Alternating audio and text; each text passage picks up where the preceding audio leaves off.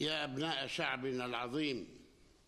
هنأ الرئيس الفلسطيني محمود عباس المرأة الفلسطينية لمناسبة الثامن من آذار الذي يصادف يوم المرأة العالمي وأشاد بدورها المحوري في بناء الأسرة والمجتمع ورفعته وتقدمه ووقوفها جنبا إلى جنب مع الرجل في معركة التحرير والبناء.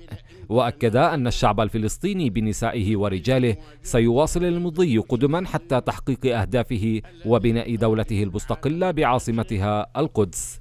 ووجه الرئيس الفلسطيني التحية لأرواح الشهيدات مثمنا صمود الأسيرات المناضلات في سجون الاحتلال الإسرائيلي معبرا عن اعتزازه بالإنجازات الكبيرة التي حققتها المرأة الفلسطينية في شتى الميادين. وكلكم مسؤول عن رعيته.